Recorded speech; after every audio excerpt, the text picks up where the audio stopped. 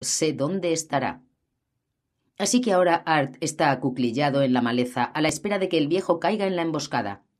Nota los ojos de tío clavados en él. Se vuelve y ve que tío consulta su reloj. Art recibe el mensaje. De un momento a otro. Don Pedro Avilés está sentado en el asiento delantero de su Mercedes descapotable, mientras traquetea poco a poco sobre la carretera de tierra. Están huyendo del valle en llamas, subiendo la montaña. Si llega al otro lado, estará a salvo. Ve con cuidado, dice al joven güero que está conduciendo. Cuidado con los baches. El coche es caro. Tenemos que salir de aquí, patrón, le dice Güero. Lo sé, replica con brusquedad don Pedro. Pero ¿teníamos que tomar esta carretera? El coche se estropeará. No habrá soldados en esta carretera, le dice Güero, ni federales, ni policía estatal. ¿Lo sabes con certeza? pregunta Avilés. Otra vez. Me lo dijo Barrera, contesta Güero. Ha dejado libre esta ruta.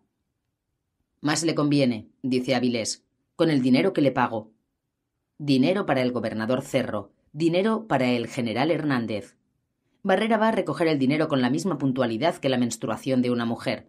Siempre. Dinero para los políticos. Dinero para los generales. Siempre ha sido así. Desde que don Pedro era joven, cuando su padre le enseñaba el negocio.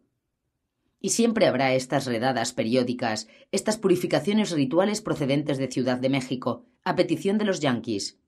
Esta vez es a cambio de una subida en el precio del crudo, y el gobernador Cerro envió a Barrera para que informara a don Pedro. Invierta en petróleo, don Pedro.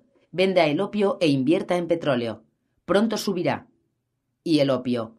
Así que dejé que esos jóvenes idiotas me compraran los campos de amapolas, cogí el dinero y lo invertí en petróleo. Y Cerro dejó que los yanquis quemaran los campos de amapolas, haciendo el trabajo que el sol habría hecho por ellos.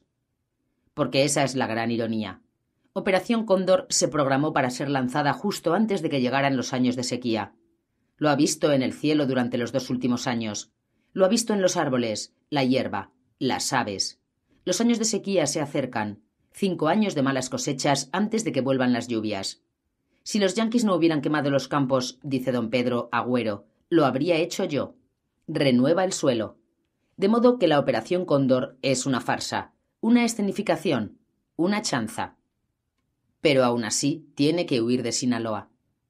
Avilés no ha sobrevivido durante setenta y tres años siendo descuidado. Por eso Güero conduce, y cinco de sus sicarios de más confianza van en un coche detrás. Hombres cuyas familias viven en la finca de don Pedro, en Culiacán, y que serían exterminadas si algo le sucediera a don Pedro. Y Güero, su aprendiz, su ayudante, un huérfano al que recogió de las calles de Culiacán como una manda a San Jesús Malverde, el santo patrón de todos los gomeros de Sinaloa. Güero, al que enseñó el oficio, al que enseñó todo, ahora un joven, su mano derecha, un chico espabilado, capaz de realizar complejos cálculos en su cabeza en un abrir y cerrar de ojos, y que sin embargo conduce demasiado deprisa el Mercedes por esta carretera tan mala. Más despacio, ordena Avilés. Güero, Rubiales, debido a su pelo claro, lanza una risita. El viejo tiene millones y millones, pero cloquea como una gallina vieja cuando ve una factura de reparaciones. Podría tirar este Mercedes y no echarlo de menos, pero se queja de los pocos pesos que le cuesta lavarlo para quitar el polvo. Güero no se enfada, ya está acostumbrado. Aminora la velocidad. Deberíamos hacer una manda a Malverde cuando lleguemos a Culiacán, dice don Pedro. No podremos quedarnos en Culiacán, patrón, dice Güero. Los norteamericanos estarán allí. A la mierda los norteamericanos. Barrera nos aconsejó que fuéramos a Guadalajara. No me gusta Guadalajara, replica don Pedro. Solo será una temporada. Llegan a un cruce y Güero se dispone a doblar a la izquierda. A la derecha, dice don Pedro. A la izquierda, patrón, contesta Güero. Don Pedro ríe. He estado pasando opio de contrabando por estas montañas desde que el padre de tu padre le tiraba de las bragas a tu abuela. Gira a la derecha. Güero se encoge de hombros y gira a la derecha. La carretera se estrecha y la tierra es más blanda y profunda. Sigue adelante, despacio, dice don Pedro sin pausa pero sin prisa. Llegan a una curva cerrada a la derecha que atraviesa la espesa maleza y Güero levanta el pie del pedal. ¿Qué coño te pasa? pregunta don Pedro. Cañones de rifles asoman de la maleza. Ocho, nueve, diez, diez más detrás. Entonces don Pedro ve a Barrera con su traje negro y sabe que todo va bien. La detención será una representación para los norteamericanos. Si llega a ir a la cárcel, saldrá en menos de un día. Se levanta poco a poco y alza las manos. Ordena a sus hombres que le imiten. Güero Méndez se desliza despacio hacia el suelo del coche. Art empieza a levantarse. Mira a don Pedro, de pie en su coche con las manos en alto, tembloroso a causa del frío. El viejo parece muy frágil, piensa Art, como si una ráfaga de viento pudiera derribarle. Una barba blanca, incipiente en su cara sin afeitar, los ojos hundidos a causa de la fatiga evidente, un viejo débil cerca del final del camino. Parece casi cruel detenerle, pero. Tío asiente. Sus hombres abren fuego. Las balas sacuden a don Pedro como si fuera un árbol joven. ¿Qué están haciendo? grita Art. Está intentando. El estruendo de los fusiles ahoga su voz. Güero está agachado en el suelo del coche con las manos sobre los oídos porque el ruido es increíble. La sangre del viejo cae como lluvia suave sobre sus manos, la cara, la espalda. Pese al ruido de los fusiles consigue oír los chillidos de don Pedro, como una vieja que ahuyentara a un perro del corral, un sonido de su infancia. Enmudece por fin. Güero espera a que transcurran diez largos segundos de silencio antes de osar levantarse. Cuando lo hace ve que los policías salen de los arbustos. Detrás de él los cinco sicarios de don Pedro están muertos y brota sangre de los agujeros que las balas han abierto en la carrocería del coche, como agua de un bajante. Y a su lado, don Pedro. El patrón tiene la boca y un ojo abiertos. El otro ojo ha desaparecido. Su cuerpo parece uno de esos rompecabezas baratos en los que tratas de colocar las bolitas en los agujeros, salvo porque hay muchísimos agujeros. Y el viejo está cubierto por una capa de cristales astillados del parabrisas, como azúcar hilado que cubriera al novio en la tarta de una boda de lujo. Güero piensa por un momento en lo mucho que se enfadaría don Pedro si viera los daños causados en su Mercedes. El coche está para el desguace. Art abre la puerta del coche y el cadáver del viejo se desploma fuera. Se queda asombrado al comprobar que el pecho del anciano todavía se mueve. Si pudiéramos evacuarle por aire, piensa Art, tal vez exista una posibilidad de. Tío se acerca. Contempla el cuerpo y dice alto o disparo. Saca una cuarenta y cinco de su funda, apunta a la nuca del viejo patrón y aprieta el gatillo. El cuello de don Pedro se agita bruscamente y vuelve a caer al suelo. Tío mira a Art y dice Quiso sacar la pistola. Art no contesta. Quiso sacar la pistola, repite tío. Todos lo hicieron. Art contempla los cuerpos diseminados por el suelo. Las tropas de la DFS están recogiendo las armas de los muertos y disparándolas al aire. Destellos rojos brotan de los cañones de las pistolas. Esto no ha sido una detención, piensa Art, sino una ejecución. El larguirucho conductor rubio sale arrastrándose del coche, con las rodillas apoyadas en el suelo empapado de sangre, y levanta las manos. Está temblando. Art no sabe si de miedo, de frío o de ambas cosas. Tú también estarías temblando, se dice, si supieras que estás a punto de ser ejecutado. Basta de una puta vez. Art se dispone a interponerse entre tío y el chaval arrodillado. Tío. Levántate, güero, dice tío. El chico se pone en pie, tembloroso. Dios le bendiga, patrón. Patrón. Entonces Art comprende, esto no es una detención ni una ejecución, es un asesinato. Mira a tío que ha enfundado la pistola y está encendiendo uno de sus delgados puros negros. Tío alza la vista y advierte que Art le está mirando. Señala con un movimiento de la mandíbula el cadáver de don Pedro y dice Ya tienes lo que querías. ¿Y tú también? Pues. Tío se encoge de hombros. Recoge tu trofeo. Art vuelve hacia su jeep y saca su poncho. Regresa y envuelve con cuidado el cuerpo de don Pedro, y después lo alza en brazos. Es como si el viejo no pesara nada. Art lo carga hasta el jeep y lo deposita sobre el asiento trasero. Se marcha a dejar el trofeo en el campamento base. Cóndor, Fénix, ¿cuál es la diferencia? El infierno es el infierno, lo llames como lo llames. Una pesadilla despierta a Adán Barrera. Un bajo rítmico atronador. Sale corriendo de la cabaña y ve gigantescas libélulas en el cielo. Parpadea y se convierten en helicópteros. Descienden en picado como buitres. Entonces oye gritos, el sonido de camiones y caballos, soldados que corren, armas que disparan. Agarra a un campesino y ordena Escóndeme. Y el hombre le conduce al interior de una cabaña, donde Adán se esconde debajo de la cama hasta que el techo de paja estalla en llamas. Sale corriendo y se topa con las bayonetas de los soldados. Un desastre. ¿Qué coño está pasando? Y su tío. Su tío se pondrá furioso. Les había dicho que se marcharan una semana, que se quedaran en Tijuana, o incluso en San Diego, en cualquier lugar, excepto aquí. Pero su hermano Raúl tenía que ver a esa chica de Badiraguato que le tiene loco. Iba a celebrarse una fiesta, y Adán tenía que acompañarle. Y ahora, Raúl está Dios sabe dónde, piensa Adán, y yo tengo bayonetas apuntándome al pecho. Tío ha criado a los dos chicos desde que su padre murió, cuando Adán tenía cuatro años. Tío Ángel apenas era un muchacho en aquella época, pero aceptó la responsabilidad como un adulto, llevó dinero al hogar, les habló a los niños como un padre, se encargó de que se portaran como es debido. El nivel de vida de la familia aumentó a medida que tío iba ascendiendo en el cuerpo, y cuando Adán era un adolescente ya llevaban un estilo de vida de clase media. Al contrario que los gomeros rurales, los hermanos Barrera eran chicos de ciudad. Vivían en Culiacán, iban a un colegio de la localidad, asistían a fiestas en los chalés de la ciudad, a fiestas en la playa de Mazatlán.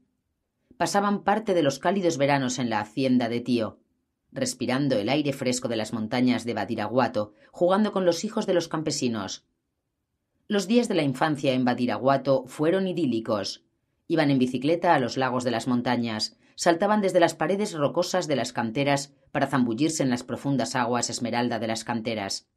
Pasaban el tiempo en el amplio porche de la casa, mientras una docena de tías les mimaban y preparaban tortillas, albóndigas y el postre favorito de Adán, flan casero cubierto con una gruesa capa de caramelo. Adán llegó a querer a los campesinos. Se convirtieron en una numerosa y cariñosa familia para él. Su madre se había mostrado distante desde la muerte de su padre, y su tío era todo negocios y seriedad. Pero los campesinos poseían toda la calidez del sol del verano.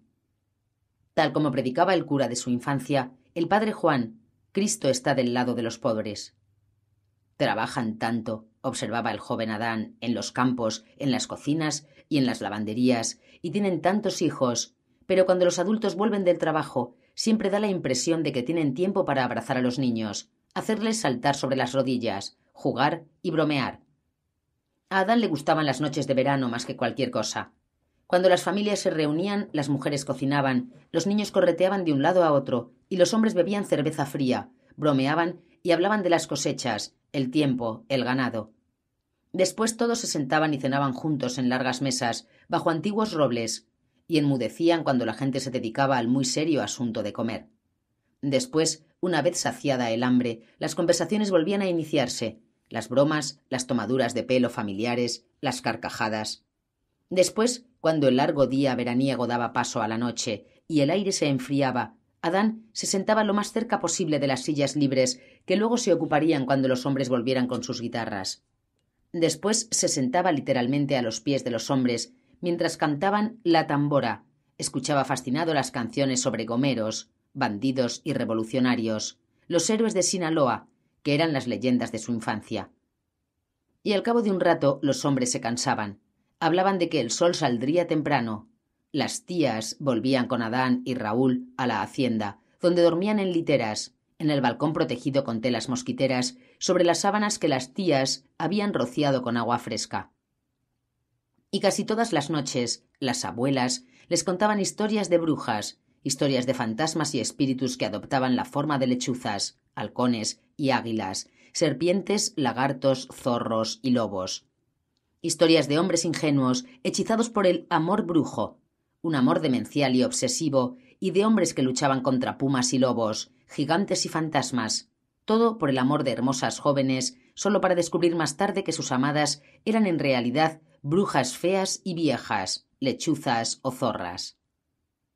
Adán se dormía escuchando aquellos cuentos, y dormía como un tronco hasta que el sol le daba en los ojos, y todo el largo y maravilloso día de verano empezaba de nuevo con el olor de tortillas recién hechas, machaca, chorizo y naranjas gordas y dulces. Ahora la mañana huele a cenizas y veneno. Los soldados están invadiendo el pueblo, prenden fuego a los techos de paja, derriban paredes de adobe con las culatas de sus fusiles. El teniente Navarres, de los federales, está de muy mal humor.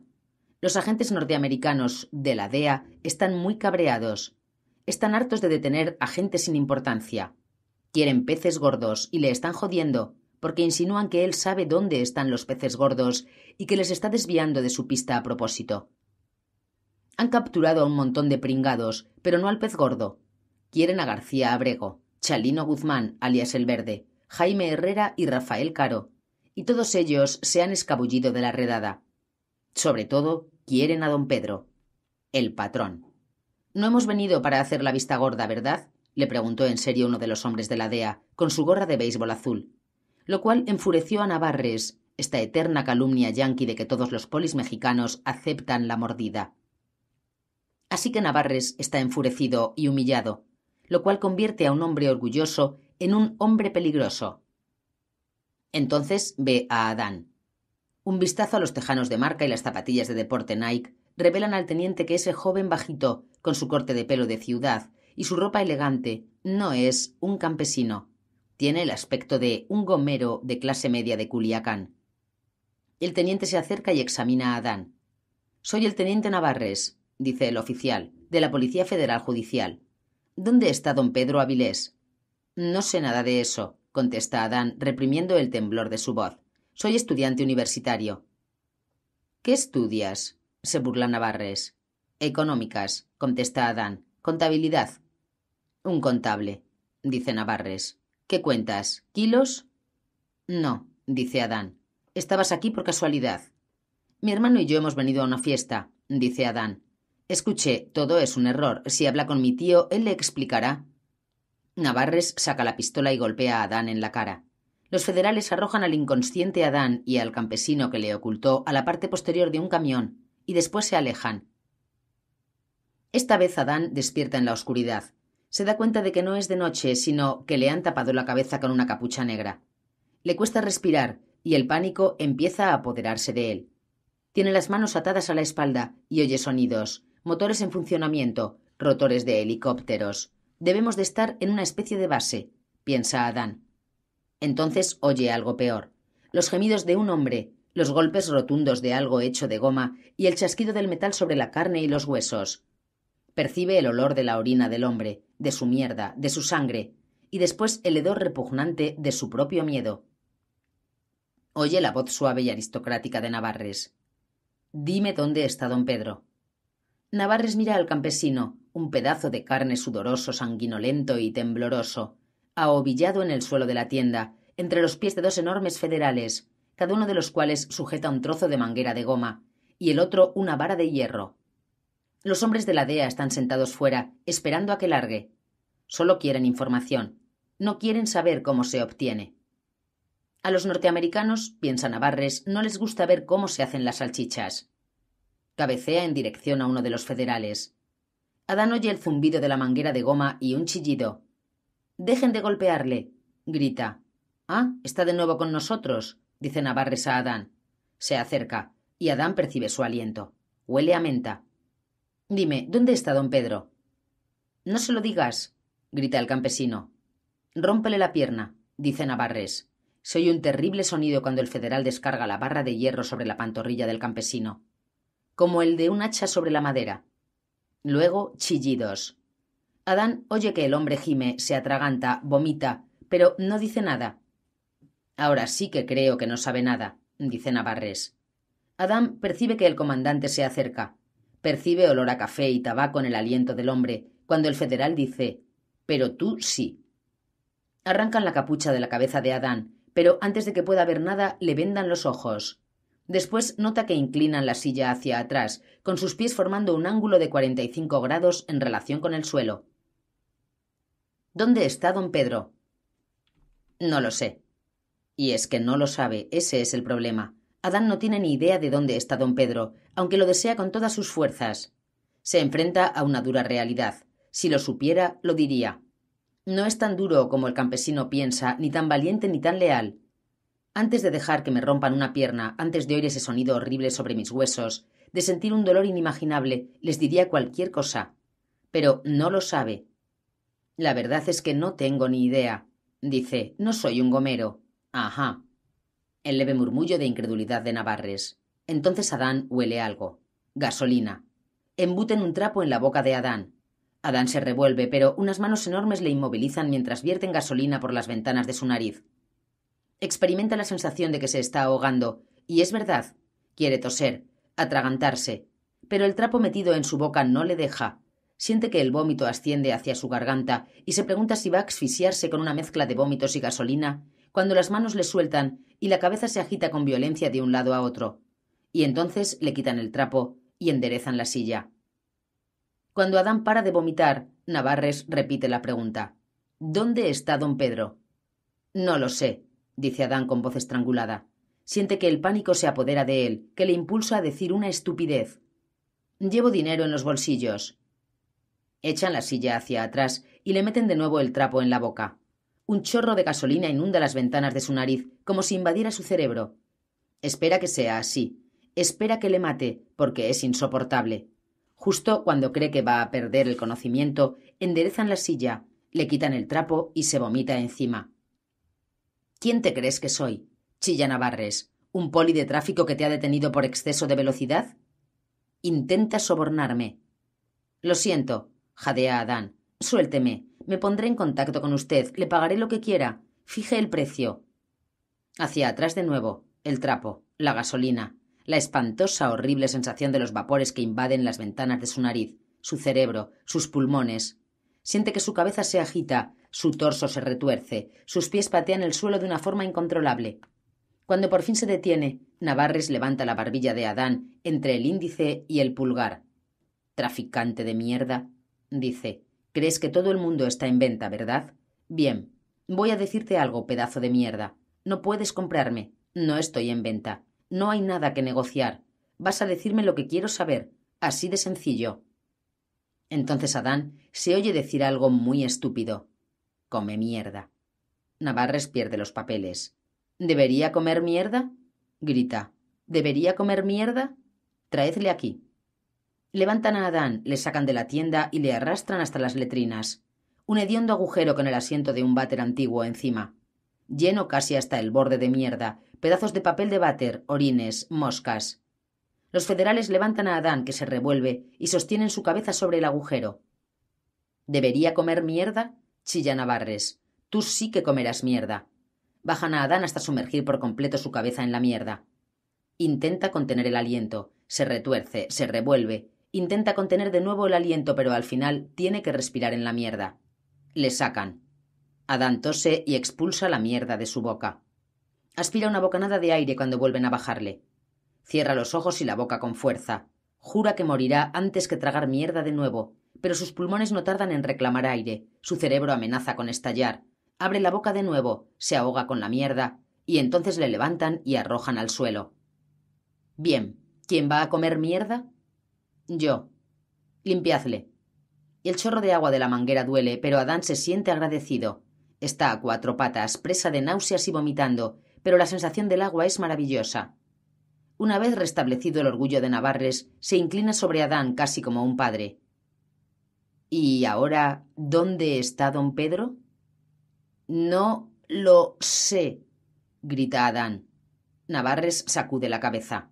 Llevaso al otro, ordena a sus hombres. Unos momentos después, los federales salen de la tienda arrastrando al campesino. Tiene los pantalones blancos manchados de sangre y rotos. La pierna izquierda se arrastra en un ángulo imposible y un fragmento puntiagudo de hueso asoma de la carne. Adán lo ve y vuelve a vomitar. Vuelve a sentir náuseas cuando empiezan a arrastrarle hasta un helicóptero. Art aprieta un puño contra su boca. El humo y la ceniza le están afectando. Le escuecen los ojos, se le meten en la boca.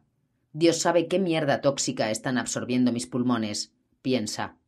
Llega a una aldea situada en una curva de la carretera. Los campesinos se hallan parados al otro lado de la carretera y contemplan a los soldados, preparados para prender fuego a los techos de paja de sus casitas. Soldados jóvenes y nerviosos impiden que intenten recuperar sus pertenencias de las casas en llamas. Entonces Art ve a un lunático. Un hombre alto y corpulento, con la cabeza cubierta de pelo blanco, sin afeitar, con barba blanca de varios días, una camisa de algodón sobre unos tejanos y zapatillas de tenis. Sostiene un crucifijo de madera delante de él, como un mal actor en una película de vampiros de serie B. Se abre paso entre la multitud de campesinos y deja atrás a los soldados. Los soldados también deben de pensar que está loco, porque se apartan y le dejan pasar.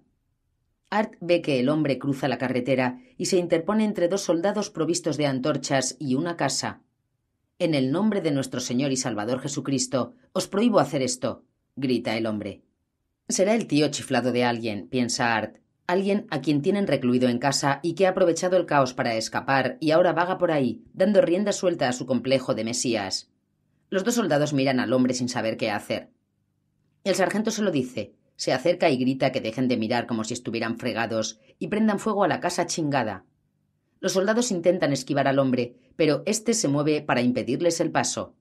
Se mueve rápido para estar tan gordo, piensa Art. El sargento toma su rifle y levanta la culata hacia el loco, como con la intención de partirle el cráneo. Pero el desconocido no se mueve. El lunático no se mueve, se queda quieto, invocando el nombre de Dios. Art suspira, para el jeep y baja. Sabe que no tiene que entrometerse, pero no puede permitir que le partan la cabeza a un chiflado sin intentar impedirlo. Se acerca al sargento y le dice que él se ocupará del asunto. Agarra al lunático por el codo y trata de alejarle. Vamos, viejo, dice Art. Jesús me ha dicho que quiere verte al otro lado de la carretera. ¿De veras? contesta el hombre. Porque Jesús me ha dicho que te vayas a tomar por el culo. El hombre le mira con unos ojos grises asombrosos. Art los mira y comprende al instante que ese tipo no está como una regadera, sino que se trata de algo diferente por completo. A veces ves los ojos de una persona y sabes, sin más, que la hora de las gilipolleces ha terminado. Estos ojos han visto cosas, y no se han estremecido ni inmutado. El hombre mira las letras DEA en la gorra de Art. ¿Orgulloso de ti mismo? pregunta. Solo estoy haciendo mi trabajo. Y yo estoy haciendo el mío. Se vuelve hacia los soldados y vuelve a ordenarles que paren y desistan. Escuche, dice Art, no quiero que le hagan daño. Pues cierra los ojos. El hombre se fija en la expresión consternada de Art. No te preocupes, añade. No me tocarán. Soy un cura. Un obispo, en realidad. ¿Un obispo? piensa Art. ¿Vete a tomar por el culo? ¿Qué clase de cura, perdón, obispo, utiliza ese tipo de... Una ráfaga de ametralladora interrumpe sus pensamientos. Art oye el pop pop pop sordo de un AK-47 y se arroja al suelo, lo más pegado al suelo posible.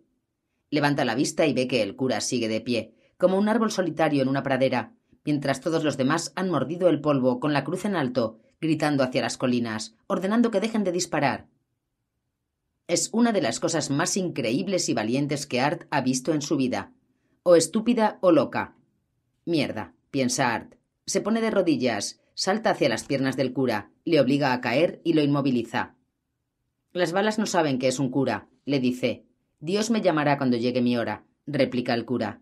Bien, pues Dios casi acaba de descolgar el teléfono, piensa Art. Se queda tirado en el suelo al lado del cura hasta que el tiroteo cesa. Después se arriesga a levantar la vista y observa que los soldados han empezado a alejarse de la aldea en dirección al origen de los disparos. ¿No te sobrará un cigarrillo? pregunta el cura. No fumo. Puritano. Le matará, dice Art. Todo lo que me gusta me matará, replica el cura. Fumo, bebo, como demasiado. Sublimación sexual, supongo. Soy el obispo Parada. Puedes llamarme Padre Juan. Está usted loco, Padre Juan. Cristo necesita de locos, dice Parada al tiempo que se pone en pie y se sacude el polvo. Pasea la vista a su alrededor y sonríe. Y el pueblo sigue en su sitio, ¿verdad? Sí, piensa Art, porque los gomeros empezaron a disparar. ¿Tiene nombre? pregunta el cura. Art Keller. Le tiende la mano. Parada la acepta. ¿Por qué estás quemando mi país, Art Keller? pregunta. Como ya he dicho, estoy.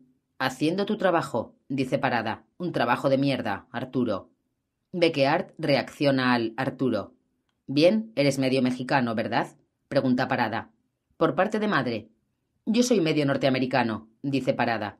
Nací en Texas. Mis padres eran mojados, obreros emigrantes. Me trajeron a México cuando todavía era un bebé, lo cual me convierte técnicamente en ciudadano estadounidense. En tejano, nada menos. Sí. Engánchalos por los cuernos. Una mujer llega corriendo y se pone a hablar con parada. Está llorando y habla tan deprisa que a Art le cuesta entenderla. No obstante, capta algunas palabras, Padre Juan, y federales, y tortura. Parada se vuelve hacia Art. Están torturando a la gente en un campamento cercano. ¿Puedes conseguir que paren? Es probable que no, piensa Art. Es el procedimiento habitual en Cóndor. Los federales los afinan y cantan para nosotros. Padre, no estoy autorizado a interferir en los asuntos internos de. No me trates como si fuera idiota, interrumpe el cura. Lo dice en un tono autoritario que obliga a Art Keller a escuchar.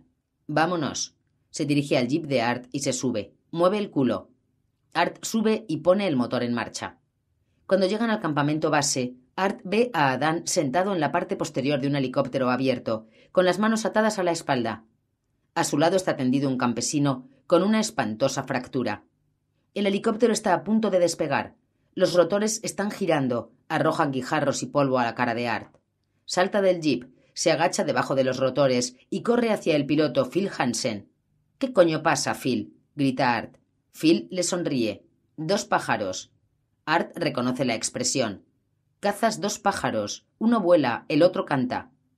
No, dice Art. Señala a Dan con el pulgar. Este tipo es mío. Que te den por el culo, Keller. Sí, que me den por el culo, piensa Art. Mira en la parte posterior del helicóptero, donde Parada ya está atendiendo al campesino de la pierna rota. El cura se vuelve hacia Art con una mirada que es una pregunta y una exigencia al mismo tiempo. Art sacude la cabeza, saca la 45, la amartilla y la apunta a la cara de Hansen. No vas a despegar, Phil. Art oye que los federales alzan sus rifles y las balas entran en las recámaras. Los tíos de la DEA salen corriendo de la tienda. Keller, grita Taylor. ¿Qué coño crees que estás haciendo? ¿Es esto lo que hacemos ahora, Tim? pregunta Art. ¿Arrojamos a gente desde los helicópteros? No eres nuevo en esto, Keller, replica Taylor. Has sido en el asiento trasero montones de veces. No puedo decir nada al respecto, piensa Art. Es verdad. Estás acabado, Keller, dice Taylor. Ahora sí. Te dejaré sin trabajo. Te mandaré a la cárcel. Parece contento. Art sigue apuntando la pistola a la cara de Hansen. Es un asunto mexicano, dice Navarres. Manténgase al margen, no está en su país. Es mi país, brama Parada. Voy a excomulgar su culo tan deprisa. Ese lenguaje, padre, dice Navarres. Dentro de un momento será todavía peor. Estamos intentando localizar a don Pedro Avilés, explica Navarres a Art. Señala a Adán. Este pedazo de mierda sabe dónde está y nos lo va a decir. ¿Quiere a don Pedro? pregunta Art. Vuelve a su jeep y desenrolla el poncho. Don Pedro cae al suelo, levantando nubecillas de polvo. Ya lo tiene. Taylor contempla el cuerpo cosido a balazos. ¿Qué ha pasado? Intentamos detenerle a él y a cinco de sus hombres, dice Art. Se resistieron. Todos han muerto. Todos, dice Taylor sin apartar la vista de Art. Sí. ¿Ningún herido? No. Taylor sonríe satisfecho, pero está cabreado, y Art lo sabe. Art acaba de traer el gran trofeo, y Taylor ya no puede hacerle nada. Nada de nada. Ha llegado el momento de la ofrenda de paz. Art hace un gesto con el mentón hacia Adán y el campesino herido. Supongo que los dos tenemos que callar algunas cosas, Tim. Sí. Art sube a la parte posterior del helicóptero y empieza a desatar a Adán. Lo siento. No tanto como yo, le dice Adán. Se vuelve hacia Parada. ¿Cómo está esa pierna, padre Juan? ¿Os conocéis? pregunta Art. Yo le bauticé, dice Parada. Le di la primera comunión, y este hombre se pondrá bien. Pero la mirada que dirige a Art y a Adán revela algo diferente. Ahora ya puedes despegar, Phil, grita Art. Hospital de Culiacán, y ve con cuidado. El helicóptero despega. Arturo, dice Parada. ¿Sí? El sacerdote sonríe. Felicidades, dice Parada. Estás loco. Art contempla los campos arrasados, las aldeas quemadas, los refugiados que ya están formando una línea en la carretera de tierra. El paisaje requemado y chamuscado se aleja hasta perderse de vista. Campos de flores negras. Sí, piensa Art. Estoy loco. Una hora y media más tarde, Adán yace entre las limpias sábanas blancas del mejor hospital de Culiacán. Han desinfectado y curado la herida que Navarres le hizo en la cara con el cañón de la pistola. Le han inyectado antibióticos, pero ha rechazado los sedantes. Adán quiere sentir el dolor. Baja de la cama y recorre los pasillos hasta localizar la habitación, donde, debido a su insistencia, han llevado a Manuel Sánchez. El campesino abre los ojos y ve a Adán. Mi pierna. Sigue en su sitio. No les deje. No lo haré, dice Adán. Duerme un poco. Adán busca al médico. ¿Podrá salvarle la pierna? Eso creo, dice el médico. Pero será caro. ¿Sabe quién soy? Sé quién es. Adán no pasa por alto la expresión desdeñosa y la insinuación aún más desdeñosa. Sé quién es su tío. Sálvele la pierna, dice Adán, y será el jefe de un ala nueva de este hospital. Pierda la pierna y pasará el resto de su vida practicando abortos en un burdel de Tijuana. Pierda al paciente y le meterán en una tumba antes que a él. Y no será mi tío el que le meta en ella, seré yo. ¿Me ha comprendido? El médico ha comprendido. Y Adán comprende que la vida ha cambiado, la infancia ha terminado. Ahora la vida va en serio. Tío inhala poco a poco un puro habano y mira la anilla de humo flotar en la habitación. La operación Cóndor no habría podido salir mejor. Quemados los campos de Sinaloa, envenenada la tierra, dispersos los gomeros y hábiles enterrado, los norteamericanos creen que han destruido el origen del mal y dejarán en paz a México. Su satisfacción me concederá tiempo y libertad para crear una organización que, cuando los norteamericanos despierten, no podrán ni tocar. Una federación. Alguien llama a la puerta con suavidad. Un agente de la DFS vestido de negro, con la UCI colgada al hombro, entra. Alguien ha venido a verle, don Miguel. Dice que es su sobrino. Déjale entrar. Adán aparece en el umbral. Miguel Ángel Barrera ya sabe todo lo que le ha sucedido a su sobrino. La paliza, la tortura, sus amenazas al médico, su visita a la clínica de parada. De un día para otro el chico se ha convertido en hombre. Y el hombre va al grano. ¿Sabías lo de la redada? dice Adán. De hecho, colaboré en su planificación. En realidad los objetivos habían sido elegidos con todo cuidado para eliminar enemigos, rivales y viejos dinosaurios incapaces de comprender el nuevo mundo. De todos modos, no habrían sobrevivido y solo habrían significado un estorbo. Ahora ya no lo son. Fue una atrocidad, dice Adán. Era necesario, contesta Tío. En cualquier caso, iba a suceder. Así que lo mejor será aprovecharse. Los negocios son así, Adán. Bien, dice Adán. Y ahora, piensa tío, veremos en qué clase de hombre se ha convertido el chico. Espera a que Adán continúe. Bien, dice Adán. Quiero entrar en el negocio.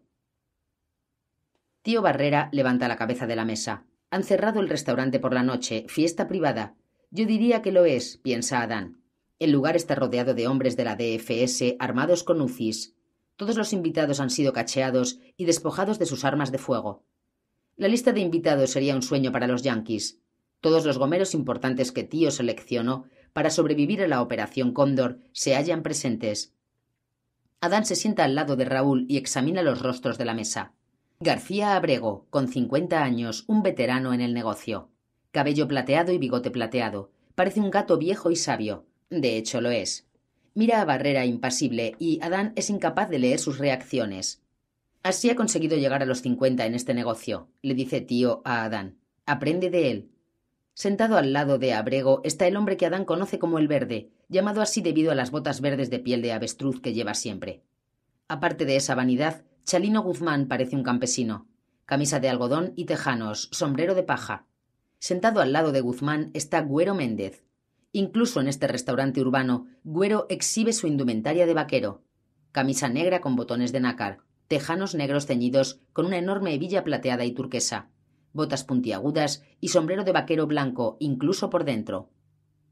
Y Güero no puede dejar de hablar sobre el hecho de haber sobrevivido milagrosamente a la emboscada de los federales que acabó con la vida de su jefe, don Pedro. San Jesús Malverde me protegió de las balas, estaba diciendo Güero.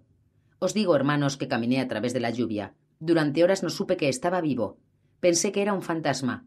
Dale que dale, tocando los huevos con su historia de que vació la pistola sobre los federales, que saltó del coche y corrió, entre las balas, hermanos, hacia los matorrales, desde los cuales escapó, y cómo regresó a la ciudad, pensando que cada momento era el último, hermanos. Adán pasea la mirada sobre el resto de los invitados. Jaime Herrera, Rafael Caro, Chapo Montana, todos los gomeros de Sinaloa, ahora todos en busca y captura, todos a la fuga barcos extraviados y empujados por el viento que Tío ha conducido a puerto seguro. Tío ha convocado esta reunión y por el simple hecho de hacerlo ha establecido su superioridad.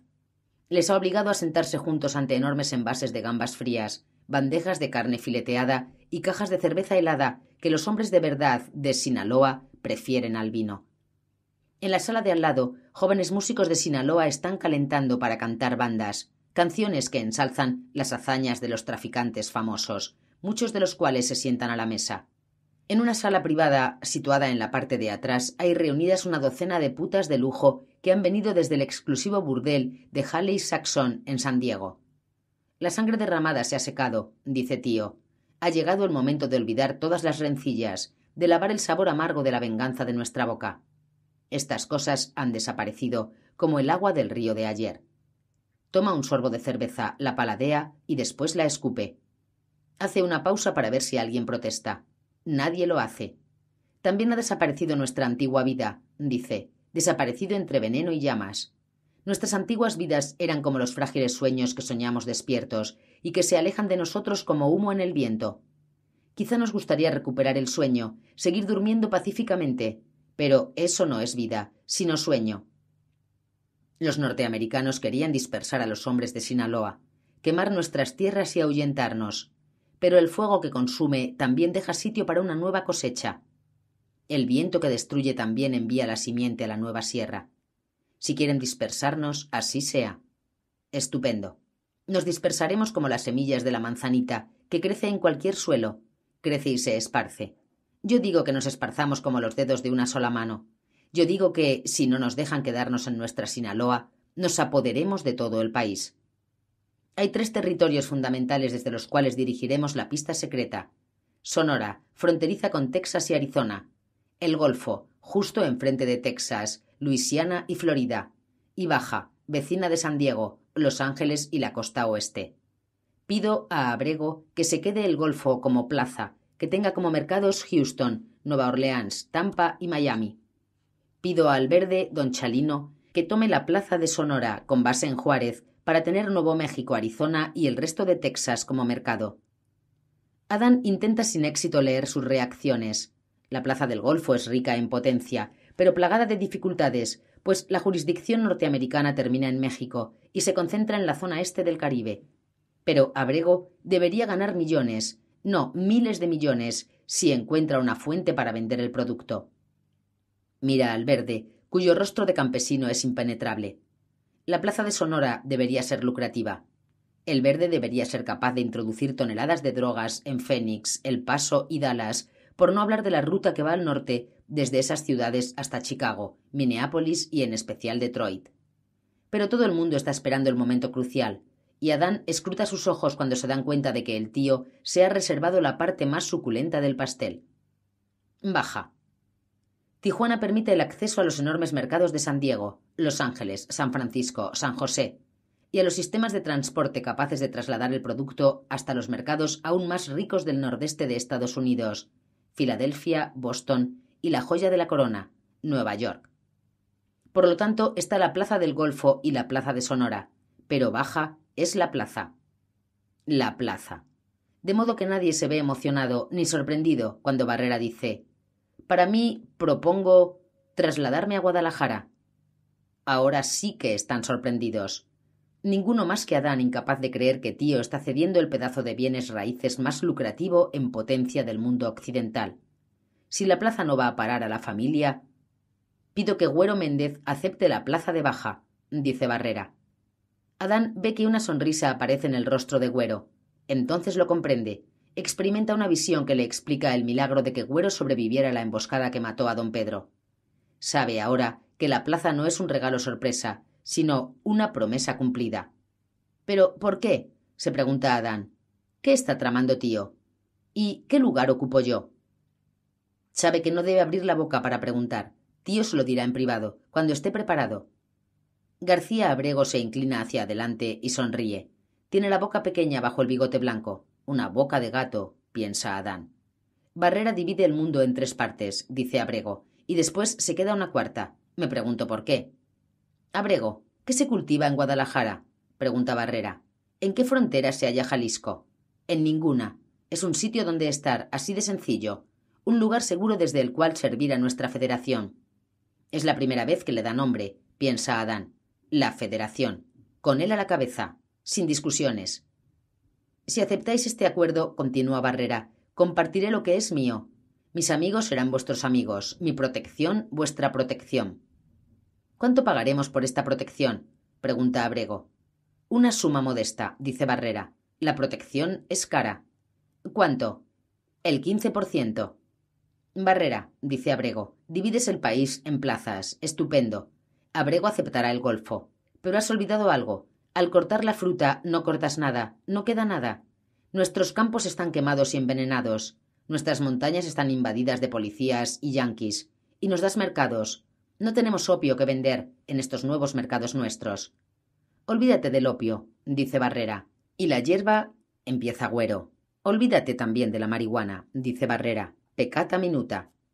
Abrego extiende los brazos. Bien, Miguel Ángel, el ángel negro, nos dices que olvidemos la amapola y la hierba. ¿Qué quieres que cultivemos? Deja de pensar como un agricultor. Soy un agricultor. Tenemos una frontera de tres mil kilómetros con Estados Unidos por tierra, dice Barrera. Otros mil quinientos kilómetros por mar. Es la única cosecha que necesitamos. ¿De qué estás hablando? pregunta Abrego con brusquedad. ¿Te unirás a la Federación? Claro que sí, dice Abrego. Acepto esta federación de nada. ¿Qué alternativa me queda? Ninguna, piensa Adán. Tío es el dueño de la Policía Estatal de Jalisco y está conchavado con la DFS. Ha orquestado de la noche a la mañana una revolución mediante la Operación Cóndor y ha terminado al mando. Pero, y Abrego está en lo cierto, ¿al mando de qué? ¿Y el verde? pregunta Barrera. Sí. ¿Méndez? Sí, don Miguel. Entonces, hermanos, dice Barrera, permitidme que os enseñe el futuro. Se trasladan a una sala fuertemente custodiada del hotel que pertenece a Barrera. Ramón Mete Ballesteros les está esperando. Mete es un hondureño, por lo que sabe Adán, que se mantiene en contacto con los colombianos de Medellín y los colombianos apenas hacen negocios por mediación de México. Adán ve que disuelve cocaína en polvo en un vaso de precipitados que contiene una mezcla de agua y bicarbonato ve que Mete coloca el vaso sobre un quemador y enciende la llama al máximo. Es cocaína, dice Abrego. ¿Y qué? Mira, dice Barrera. Adán ve que la solución empieza a hervir y oye que la cocaína emite un extraño chasquido. Después, el polvo empieza a convertirse en una masa sólida.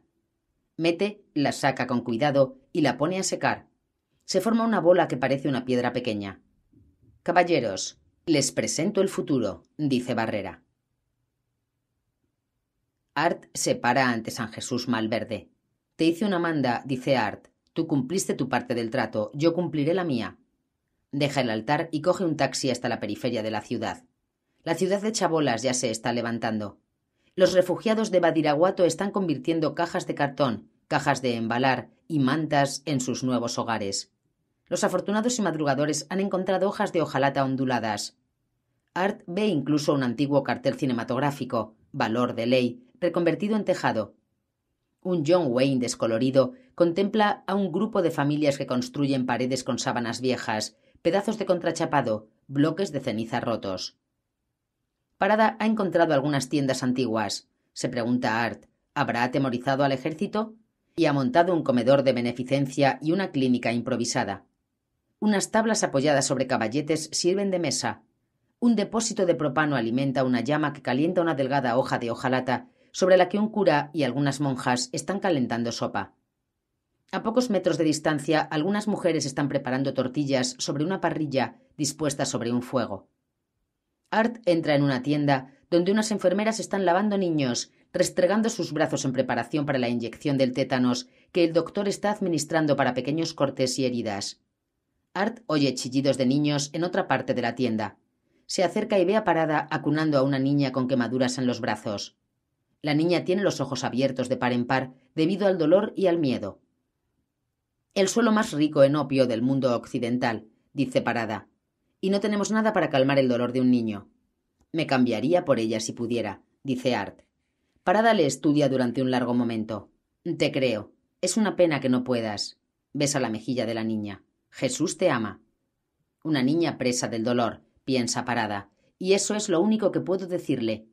Hay heridas peores, tenemos hombres tan golpeados que los médicos han tenido que amputar brazos y piernas. Todo porque los norteamericanos son incapaces de controlar su apetito de drogas. Vienen a quemar amapolas y acaban quemando niños. Voy a decirte una cosa, Jesús. Necesitaríamos que nos echaras una mano en persona ahora mismo. Art le sigue a través de la tienda. Jesús te ama, masculla parada. Noches como esta consiguen que me preguntes si es una chorrada. ¿Qué te trae por aquí? ¿La culpabilidad? Algo por el estilo. Art saca dinero del bolsillo y se lo ofrece a Parada. Es la paga del último mes. Servirá para comprar medicinas, dice Art. Dios te bendiga. No creo en Dios, replica Art. Da igual, dice Parada. Él cree en ti. En ese caso, él es un imbécil, piensa Art. 2. Irlandeses salvajes. Where we go, we celebrate the land that makes us refugees, from fear of priests with empty plates, from guilt and weeping effigies. Sam McGowan, Thousand Are Sailing. La cocina del infierno, Nueva York, 1977.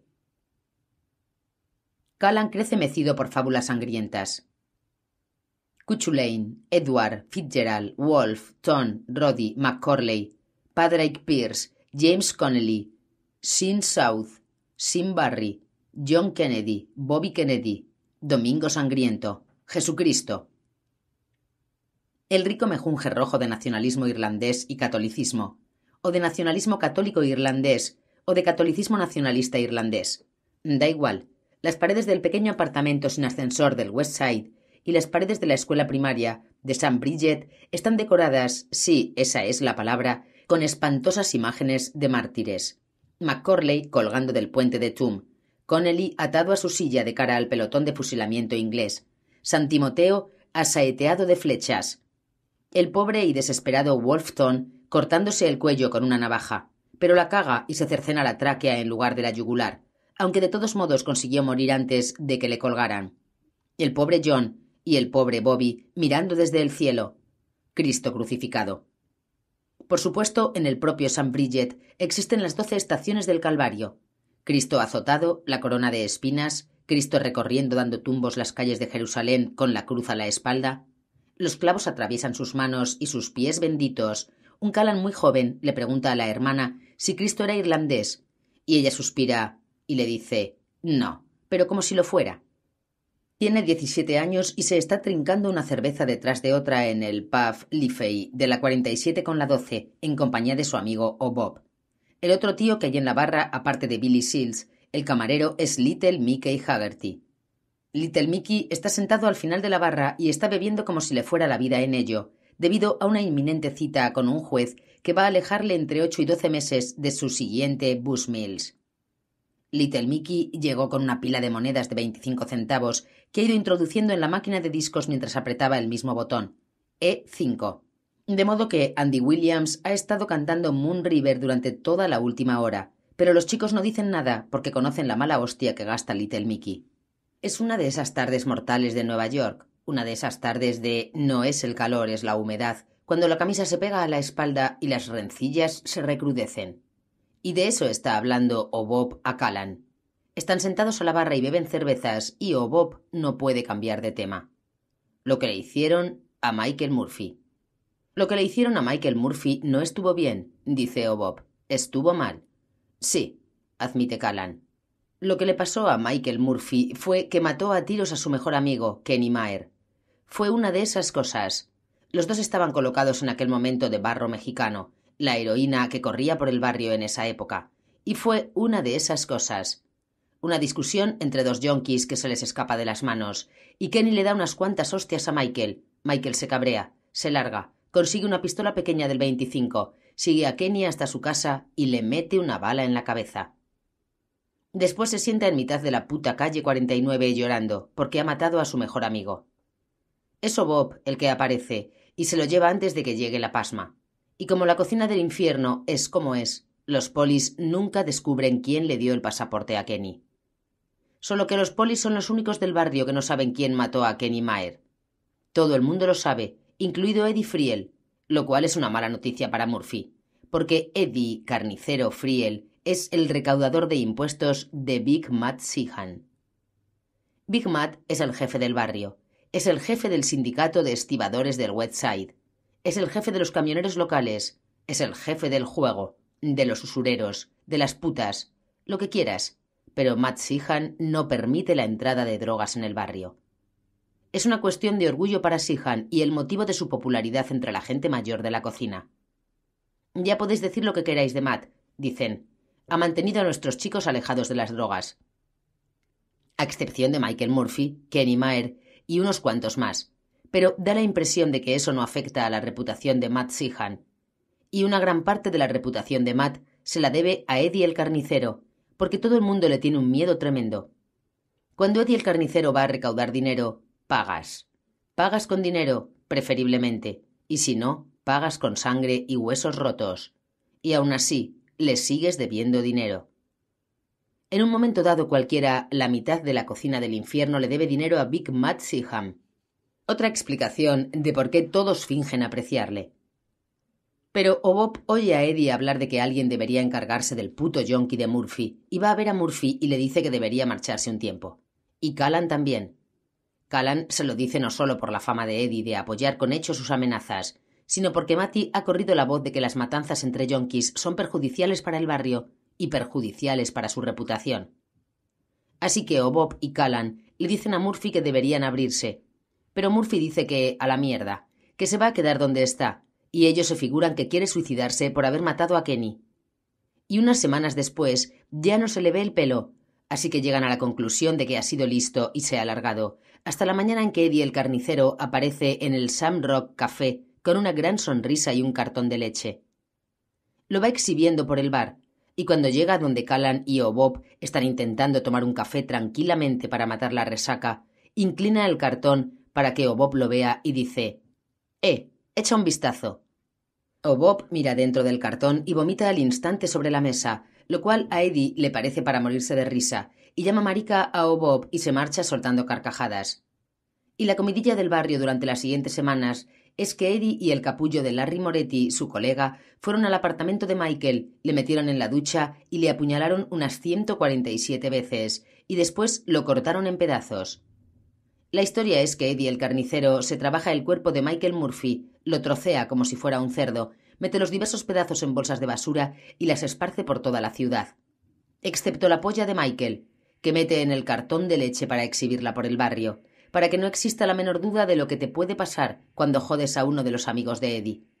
Y nadie puede hacer nada al respecto, porque Eddie es uña y carne con Matt Sihan y Sihan ha llegado a un acuerdo con la familia Cimino, así que es intocable. Solo que seis meses después, O'Bob sigue dándole vueltas al asunto. Y dice que no está bien lo que le hicieron a Murphy. De acuerdo, tal vez tenían que matarle, dice O'Bob. Pero ¿así? ¿Exhibiendo por ahí esa parte de él? No, eso está mal, muy mal. El camarero Billy Seals está limpiando la barra, tal vez la primera vez en su vida, y se está poniendo muy nervioso al oír a este chico poner verde a Eddie el carnicero. Está limpiando la barra como si fuera a practicar una operación quirúrgica sobre ella. Bob ve que el camarero le está mirando, pero eso no le refrena. Bob y Callan le han estado dando todo el día, paseando por la orilla del Hudson, fumando porros en un garito y bebiendo cervezas que llevaban en bolsas de papel marrón, de manera que, si no están del todo oídos, tampoco están exactamente allí. Y Bob, dale que dale. De hecho, fue Kenny Maher quien le puso el mote de Bob. Están todos en el parque jugando al hockey y se toman un descanso, cuando Stevie O'Leary, como se le conocía todavía entonces, aparece, y Kenny Maher mira a Stevie y dice Deberíamos llamarte Bob. A Stevie no le disgusta. ¿Qué tiene? ¿Quince años? Que un par de tíos mayores te pongan un mote es guay. Así que sonríe y dice ¿Bob? ¿Por qué Bob? Por tu forma de andar, dice Kenny. Das un saltito a cada paso, como si bailaras. Bob, dice Callan. Me gusta. ¿A quién le importa lo que te gusta? pregunta Kenny. Interviene Murphy. ¿Cómo puedes llamar Bob a un irlandés? Mira ese puto pelo rojo. Cuando se para en una esquina los coches frenan.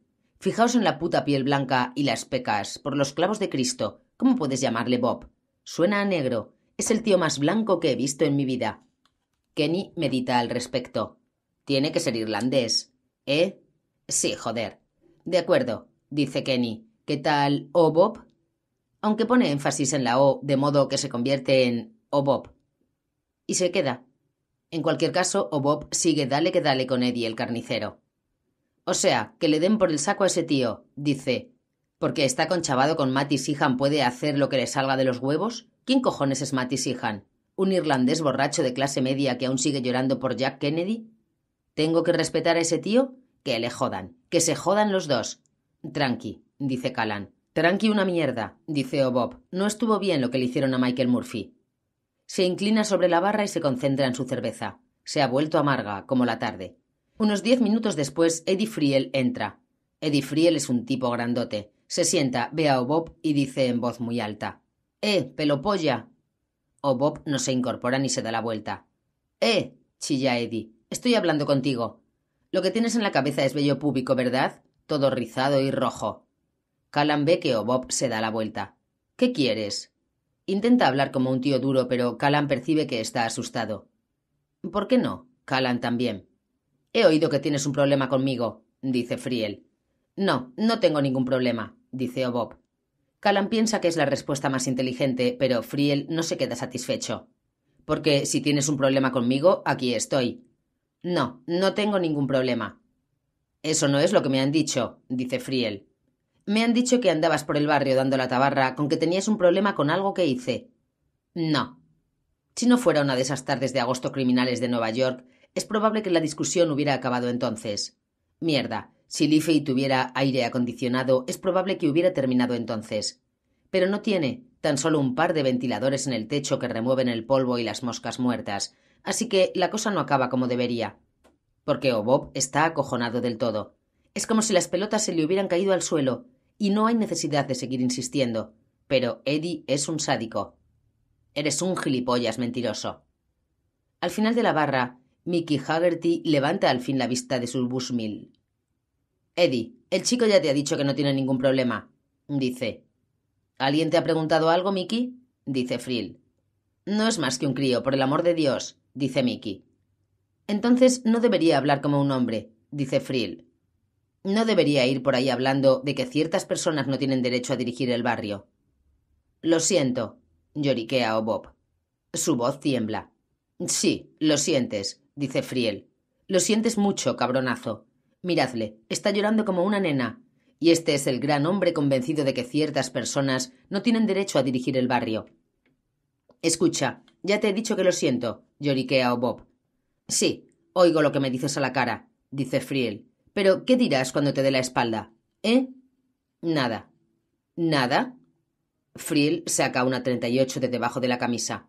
Ponte de rodillas. ¿Qué? ¿Qué? le imita Friel. Que te pongas de rodillas, cabronazo. O Bob es pálido, pero Callan ve ahora que está blanco. Ya parece muerto. Y tal vez lo esté porque da la impresión de que Friel va a ejecutarle de un momento a otro. O Bob está temblando cuando se baja del taburete. Tiene que apoyar las manos en el suelo para no caerse, antes de ponerse de rodillas. Y está llorando. Grandes lagrimones brotan de sus ojos y ruedan sobre su cara. Eddie tiene esa sonrisa de hiena en la cara. Basta ya, dice Callan a Friel. Friel se vuelve hacia él. ¿Quieres participar en la fiesta, chico? pregunta Eddie. Tienes que decidir con quién estás, con nosotros o con él. Callan mira fijamente hacia abajo. Con él, dice Callan, al tiempo que saca una veintidós de debajo de la camisa y dispara dos veces a Eddie el carnicero en la cabeza. Eddie pone una expresión de absoluta incredulidad. Mira a Callan como diciendo ¿Qué coño? y después se desploma. Está tendido de espaldas sobre el sucio suelo cuando Bob le quita la treinta y ocho de la mano, la introduce en la boca de Eddie y empieza a apretar el gatillo. O Bob chilla y profiere obscenidades. Billy Seals levanta las manos. Yo no tengo ningún problema, dice. Little Mickey levanta la vista de su bushmill. Deberíais pensar en iros, le dice a Callan. ¿Dejo la pistola? pregunta Callan. No, dice Mickey, tírala al Hudson. Mickey sabe que el río Hudson entre la calle 38 y la 57 alberga más ferralla en el fondo que, digamos, Pearl Harbor. Y la poli no va a dragar el fondo para encontrar el arma que mató a Eddie el carnicero. La reacción en Manhattan Sur sería algo así como ¿Quién ha apiolado a Eddie Frill? Oh, ¿le apetece a alguien este último pedazo de chocolate glaseado? No. El problema de estos chicos no es la ley. El problema de estos chicos es Matt Sihan. No será Mickey el que vaya corriendo a ver a Big Matt para contarle quién se ha cargado a Eddie, porque Mickey no le debe ninguna lealtad a Sihan. Pero Billy Seals, el camarero, perderá el culo por hacer méritos con Big Matt, de modo que estos chicos podrían optar por colgarse de ganchos de carne para ahorrar esfuerzos a Matt a menos que sean capaces de quitar de en medio a Matt antes, cosa que no harán. Así que estos chicos están muertos, pero no deberían quedarse a esperar. Marchaos ya, les dice Mickey. Marchaos de la ciudad. Callan guarda la 22 debajo de la camisa, pasa una mano por debajo del codo de Obob y le levanta del suelo. Vámonos, dice. Espera un momento. Obob busca en los bolsillos de Frill y saca un fajo de billetes arrugados. Le pone de costado y saca algo del bolsillo trasero. Una libreta negra. Vale, dice Obob. Salen por la puerta. La poli llega unos diez minutos después. El tío de homicidios pasa por encima del charco de sangre que forma un gran halo rojo alrededor de la cabeza de Frill y después mira a Mickey Haggerty. El tío de homicidios acaba de ascender desde cajas fuertes y pisos, de manera que conoce a Mickey. Mira a Mickey y se encoge de hombros como diciendo ¿Qué ha pasado? Resbaló en la ducha, dice Mickey. No se van de la ciudad. Lo que hacen es salir del pub seguir la sugerencia de Mickey Haggerty, llegarse hasta el río y tirar las armas. Después cuentan el fajo de Eddie. Trescientos ochenta y siete pavos, dice Bob. Una decepción. No van a ir muy lejos con trescientos ochenta y siete pavos. De todos modos no saben a dónde ir. Son chicos de barrio, nunca han estado en otra parte, no sabrían qué hacer, qué no hacer, cómo actuar, cómo arreglárselas. Deberían tomar un autobús para ir a algún sitio, pero ¿cuál? Entran en una tienda de la esquina y compran un par de litronas de cerveza y se meten debajo de un contrafuerte de la autopista Westside para pensar. ¿Jersey? dice O'Bob. Es más o menos el límite de su imaginación geográfica. ¿Conoces a alguien en Jersey? pregunta Callan. No. ¿Y tú? No. Donde conocen gente es en la cocina del infierno, de modo que acaban bebiendo un par de litronas más y esperan hasta que oscurezca, y luego vuelven al barrio. Entran en un almacén abandonado y duermen allí. Por la mañana temprano van al apartamento de la hermana de Bobby Remington, en la calle 15. Bobby se está peleando una vez más con su padre. Abre la puerta, ve a Callan y a Bob y les hace entrar. Joder, dice Bobby. ¿Qué habéis hecho, tíos? Iba a disparar a Stevie, explica Callan. Bobby sacude la cabeza. No iba a dispararle, iba a mearse en su boca, nada más. Eso es lo que afirman los rumores. Callan se encoge de hombros. Da igual. ¿Nos andan buscando? pregunta Bob. Bobby no contesta. Está demasiado ocupado bajando persianas. ¿Tienes café, Bobby? pregunta Callan. Sí, voy a prepararlo. Beth Remington sale de su dormitorio. Lleva un jersey Rangers hasta los muslos. Tiene el pelo rojo enredado que le cae sobre los hombros. Mira a Callan. Mierda, dice. Hola, Beth. Tenéis que largaros. Voy a prepararles café, Beth. Eh, Bobby, dice Beth. Saca un cigarrillo del paquete que hay sobre la encimera de la cocina. Se lo mete en la boca y lo enciende. Encima que te dejo el sofá para pasar la noche, ahora aparecen estos tipos. Sin ánimo de ofender. Bobby, necesitamos alguna arma, dice Bob. Fantástico, dice Beth. Se deja caer en el sofá al lado de Callan. ¿Para qué coño habéis venido aquí? No sabíamos a dónde ir. Qué gran honor. Se emborracha un par de veces, echa un polvo con él y ya se cree que puede venir aquí cuando se mete en líos. Bobby, prepárales una tostada o algo por el estilo. Gracias, dice Callan. No vais a quedaros aquí. Bien, Bobby, dice Bob. ¿Puedes encontrarnos algo? Si lo descubren estoy jodido. Podrías acudir a Burke, decirle que es para ti, sugiere Bob. ¿Qué estáis haciendo todavía en el barrio? pregunta Beth. Ya deberíais estar en Búfalo. ¿Búfalo? pregunta Bob sonriente. ¿Qué hay en Búfalo? Beth se encoge de hombros. Las cataratas del Niágara, yo qué sé. Beben café y comen tostadas. Iré a ver a Burke, dice Bobby. Sí, es justo lo que necesitas, dice Beth. Enemistarte con Matt y Sihan. Que le den por el culo a Sihan, dice Bobby. Sí, ve a decírselo, dice Beth. Se vuelve hacia Callan. Lo que necesitáis no son pistolas, sino billetes de autobús. Tengo un poco de dinero. Beth es cajera en el Lois de la calle 42. De vez en cuando vende una entrada del cine, además de la suya, así que ha ahorrado algo. Tenemos dinero, dice Callan. Pues largaos. Se largan. Llegan hasta el Upper West Side, Matan el tiempo en Riverside Park y van a ver la tumba de Grant. Después vuelven hacia el centro. Beth la escuela en Lowes y se quedan sentados en el anfiteatro todo el día, viendo la guerra de las galaxias. La jodida estrella de la muerte está a punto de estallar por sexta vez cuando Bobby aparece con una bolsa de papel y la deja a los pies de Callan. Buena película, ¿eh? dice, y se va tan rápido como ha llegado. Callan acerca el tobillo a la bolsa y palpa el metal. Entran en el lavabo de caballeros y abren la bolsa una 25 antigua y una 38 especial de la policía, igualmente antigua. ¿Qué pasa? dice Bob. ¿No tenía trabucos? Los mendigos no pueden elegir. Callan se siente mucho mejor con una pistola en el cinto. Es curioso que la eches de menos tan deprisa.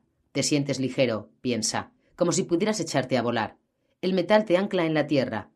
Se quedan sentados en el cine hasta que está a punto de cerrar, y después regresan con cautela hasta el almacén.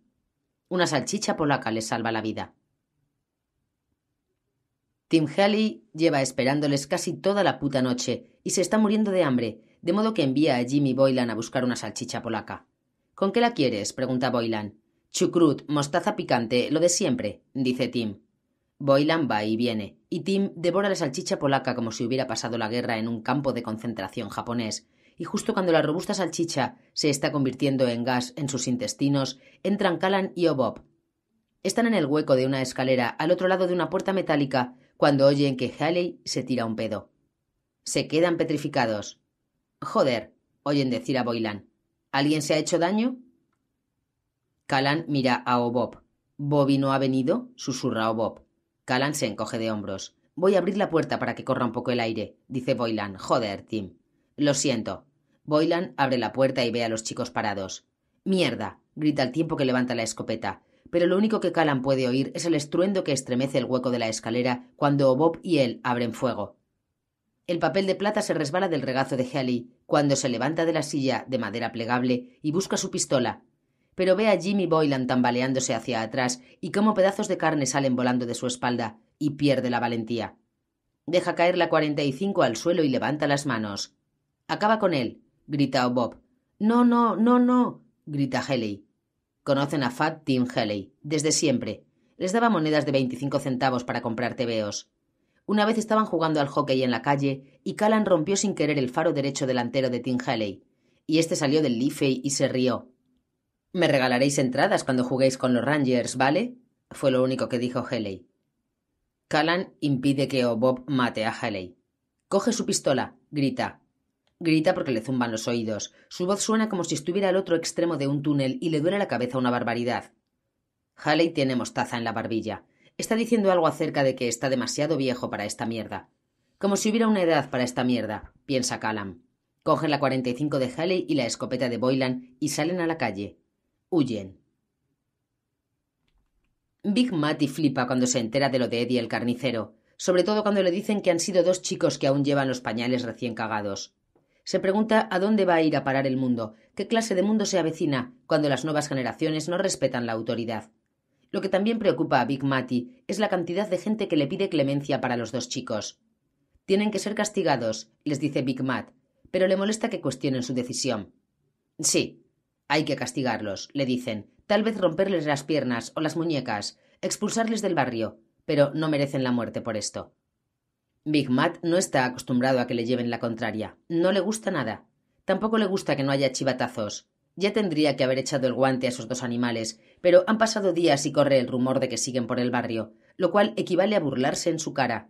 Pero nadie parece saber dónde. Ni siquiera la gente que debería saberlo lo sabe. Big Matt llega a replantearse la idea del castigo. Decide que lo más justo sería cortar las manos que han apretado los catillos. Cuanto más lo piensa, más le gusta la idea dejar que esos dos chicos paseen por la cocina del infierno con dos muñones, a modo de recordatorio de lo que pasa cuando no muestras el debido respeto a la autoridad. Les cortaré las manos, y lo dejaremos así. Les demostraré que Big Matt Sihan puede ser magnánimo. Entonces recuerda que ya no tiene a Eddie el carnicero para encargarse de la tarea. Un día después se ha quedado también sin Jimmy Boylan y Fat Tim Haley, porque Boylan ha muerto y Haley ha desaparecido. Y Kevin Kelly ha considerado conveniente encargarse de unos asuntos en Albany. Marty Stone tiene una tía enferma en Far Rock Way y Tommy Dugan se ha ido de juerga. Todo lo cual conduce a Big Matt a sospechar que tal vez se esté gestando un golpe de Estado, una verdadera revolución. Por lo tanto, reserva un vuelo a su otra casa, en Florida. Lo cual sería una noticia estupenda para Callan y Bob, pero, por lo visto, antes de que Matty subiera al avión, se puso en contacto con Bill Pauli Calabrese, el nuevo representante de la familia Chimino, y pidió un favor. ¿Qué crees que le dio? pregunta Callan a Obob. Una parte del Habit Center, dice Obob. Big Matt controla los sindicatos de la construcción y los sindicatos de los camioneros que trabajan en el enorme centro de congresos planeado en el Westside. Hace más de un año que los italianos están babeando por una parte de ese negocio. Solo el contrato del cemento vale millones. Ahora Matt no está en posición de negarse, pero podría esperar un favor razonable a cambio de acceder. Cortesía profesional.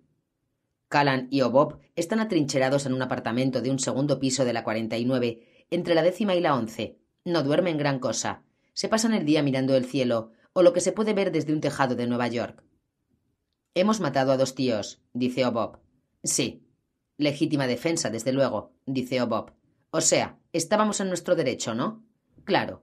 Me pregunto si Mickey Haggerty nos va a vender, dice un poco después Obob. ¿Tú crees? Se enfrenta a una condena de entre ocho y doce meses por robo, dice Obob. Podría vendernos. No, dice Callan. Mickey es de la vieja escuela. Es posible que Mickey sea de la vieja escuela, dice Obob, pero también podría estar cansado de dormir entre rejas. Es su segunda condena. Callan sabe que Mickey cumplirá su sentencia y volverá al barrio con la cabeza alta.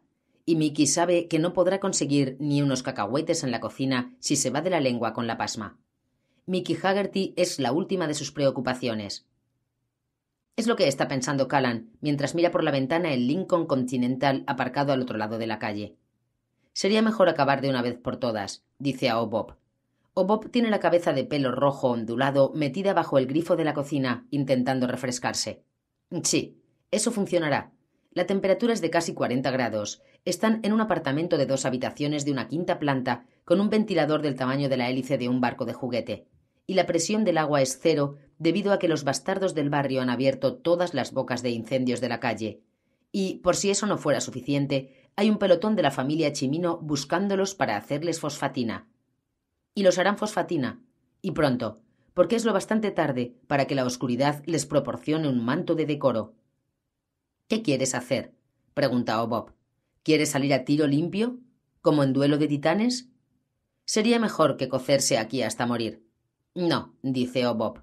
Esto es una mierda, desde luego, pero si bajamos nos coserán a balazos como a perros. Tenemos que bajar en algún momento, aduce Calán. No, dice Bob. Saca la cabeza de debajo del grifo y se sacude el agua. Mientras haya pizzas a domicilio, no tendremos que bajar. Se acerca a la ventana y mira el Lincoln largo y negro aparcado al otro lado de la calle. Los jodidos italianos nunca cambian, dice Bob. Uno se cree que podrían aparecer en un Mercedes, un BMW, no sé, un puto Volvo o algo por el estilo. Cualquier cosa. Salvo estos putos Lincolns y Cádiz. Debe de ser una norma de esos espagueti, te lo aseguro. ¿Quién está en el coche, Stevie? Hay cuatro tíos en el coche. Tres más merodean por las proximidades. Muy natural. Fuman cigarrillos, beben café, matan el tiempo. Como un anuncio de la mafia dirigido al barrio. Vamos a dar una paliza a alguien, de modo que mejor os vais a otro sitio. O Bob se explica mejor. La subbanda de Picone de la banda de Johnny Boy Cozzo, dice, la rama de monte de la familia Chimino. ¿Cómo lo sabes? El tío del asiento del acompañante está comiendo una lata de melocotón en almíbar, explica Bob. Por lo tanto es Jimmy Picone, Jimmy Peaches. Le vuelve loco el melocotón en almíbar. O Bob es un fanático de la mafia. La sigue como algunos tíos siguen a los equipos de béisbol. Tiene todo el organigrama de las cinco familias grabado en la cabeza. Por lo tanto, O Bob está enterado de que, como Carlo Chimino murió el año pasado, la familia ha sufrido una temporada de inestabilidad. Casi todos los tipos del núcleo duro estaban seguros de que Chimino elegiría a Nil de Monte como sucesor, pero en cambio se decantó por su cuñado, Pauli Calabrese. Fue una elección impopular, sobre todo entre la vieja guardia, convencida de que Calabrese es demasiado blando. Está demasiado obsesionado en invertir el dinero en negocios legales. Al núcleo duro, los prestamistas, los artistas de la extorsión y los ladrones propiamente dichos, no le gusta. Jimmy, Big Peaches, Picone, es uno de ellos. De hecho, está sentado en el Lincoln alardeando de ello. Somos la familia del crimen chimino, está diciendo Pichis a su hermano Little Pichis. Joe Little Pichis Picone es más grande que su hermano mayor, Big Pichis, pero nadie se atreve a decirlo, de modo que los motes no cambian. Hasta el jodido New York Times nos llama la familia del crimen chimino. Nos dedicamos al crimen. Si hubiera querido dedicarme a los negocios, habría trabajado en, yo qué sé, la IBM. A Pichis tampoco le gusta que De Monte fuera descartado como jefe. Es un viejo. ¿Qué hay de malo en dejarle disfrutar de sus últimos años tomando el sol? Se lo ha ganado. El viejo tendría que haber nombrado jefe al señor Neil y subjefe a Johnny Boy. Habríamos tenido nuestra cosa nostra. Pese a su juventud, tiene 26 años, Pichis es un carca, un conservador, un William F. Buckley sin corbata. Le gusta el viejo estilo, las viejas tradiciones. En los viejos tiempos, dice Pichis, como si él estuviera vivido en los viejos tiempos, nos habríamos quedado un pedazo del centro Habits. No tendríamos que haberle lamido el culo a un irlandés como Matty Sihan. Tampoco es que Pauli nos lo vaya a dejar probar. Le da igual si nos morimos de hambre. Eh,